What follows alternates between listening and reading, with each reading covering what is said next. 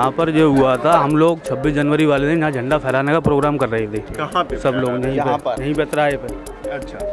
तो ये लोग यहाँ से कम से कम साठ सत्तर बाइकों पे कम से कम सौ सौ डेढ़ सौ सौ डेढ़ सौ लोग यहाँ पर आए नारेबाजी करते हुए। इधर से आए थे? अच्छा। सामने से लोग आए नारेबाजी करते हुए। हाँ। हिंदुस्तान में रहना होगा बंदे मातरम कहना होगा और भी नारे दिए थे इन लोगों ने काफ़ी उल्टे सीधे। तो हम लोगों ने इनको रोका। हमने यही कही इनसे कि हम हम भी झंडा यहाँ फहरा रहे हैं। आप लोग भी आओ यहाँ पे।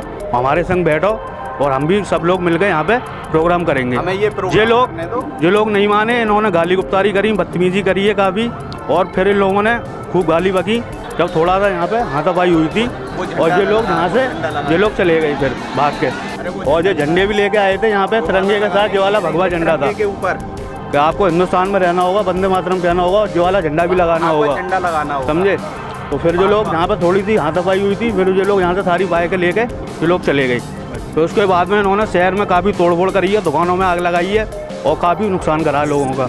हिंदू हिंदू हिंदुस्तान कटुए भागो पाकिस्तान ये नारे लगाए थे इन्होंने। यहाँ पर हमेशा से शांति रही है। 85 परसेंट मुस्लिम रहते हैं यहाँ पर तो यहाँ अदर ओनली 15 परसेंट नॉन मुस्लिम। आज तक यहाँ पर कोई ऐसी बात नहीं हुई है और यहाँ पर जो रैली निकलती है कभी नहीं निकली। ये लोग जानबूझकर रैली को लेकर आए। ना इनके पास परमिशन थी, ना अदरवाइज़ कोई प्रशासन इनके साथ था, ना शासन इनके साथ था। उसके बाद ये तिरंगा झंडे के साथ अपने भगवा झंडे लेकर आए। हमारे बच्चों का प्रोग्राम यहाँ पर चालू था। तिरंगा फहराया था, मिठाइयाँ बंटनी थी, कॉपी किताबें बच्चों को वितरित होनी थी। लेकिन उसके बाद वो लोग आए, ज़बरदस्ती नारेबाजी लगाने लगे। ऊधम मचाने लगे। उनसे कहा कि आप लोग ऐसा ना करें। मैं अपनी खिड़की पे ऊपर खड़े होकर सब कुछ देख रहा था। सारे बुज़ुर्ग, सारे लोग उनको बहुत अच्छे से समझा रहे थे कि आप भी हमारे झंडा रोहड़ में शामिल हो जाइए।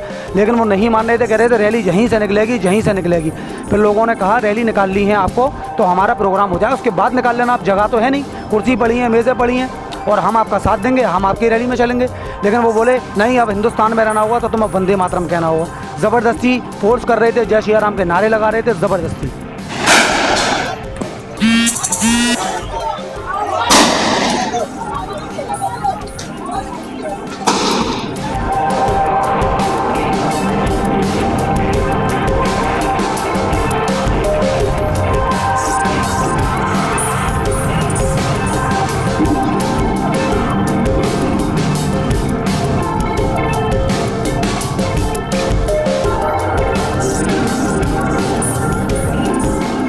परमानेंट यहाँ पे अब रह रहे हैं? अब अब जो हिंदू बाहुबल है, यहाँ पे सब, कोई किसी ने आज तक कोई शिकायत ही नहीं हमें तरफ़ से हुई है यहाँ पे। हम सब अकेले रहते थे, प्यार मोहब्बत से यहाँ पे सब दुकान चलाते हैं यहाँ पे अपनी। ऐसे ही अंदर ही हम तो यहाँ सो भी जाते थे, हमारी दुकान इतनी मज़बूत नहीं है। तखत पड़ा हुआ था, यहाँ सोते थे हम अपने। अगर बाई चांस सो रहे होते अगर यहाँ पे तो शायद लगता है शायद मैं ही यहाँ पे ना मिलता। अचानक क्या? छब्बीस जनवरी का समय था। क्या हुआ क्या नहीं हुआ बाहर का तो हमको मालूम नहीं। अचानक हमको खबर मिली कि दुकान बंद करो दुकान बंद करो। हम ऐसे ही दुकान बंद करके यहाँ से घर से चले गए घर पे चले गए। डर तो अब क्या डर है? जो असली डर था वो तो ख़त्म हो गया डर ही निकल गया। इसी चीज़ का डर था कि इज़्ज़त से कमा रहे हैं खा रहे हैं।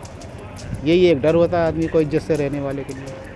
एरिया से ये जो आपका एरिया है वड्डू नगर यहाँ से कितने लोग उठाए गए हैं? यहाँ से भी कम से कम पचास साठ लड़के उठ चुके हैं। बेकसूर उठे हैं सारे। अच्छा। किसी ने कुछ नहीं करा है सब घरों में कह रहे हैं जिस दिन का बात ये हुआ। मालूम तक नहीं है वो लोग उठे हैं। अच्छा। जो भी मीडिया के सामने आता है उस बंदे को उठा लिया जाता है। इस चक्कर में कोई मीडिया के सामने आना नहीं चाहता।